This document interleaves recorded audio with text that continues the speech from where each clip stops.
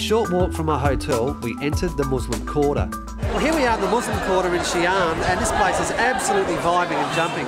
It's unbelievable. You've got smells over here, smells over here. The place is just packed. And I tell you what, I'm off to get something to eat. I don't know what it is, but I'm just about to go. So I'll see you.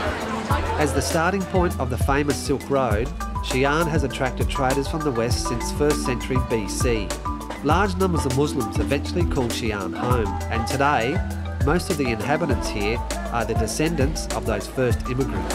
Firstly, they look differently like Chinese. When they come, they like uh, Middle East people.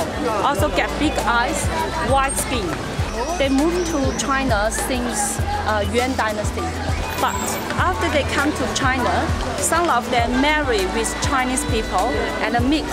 And some of them easy to tell they are Muslim, but some of them still hard to tell they are Muslim people. So things have been changed a little bit, like mixed with the Chinese culture.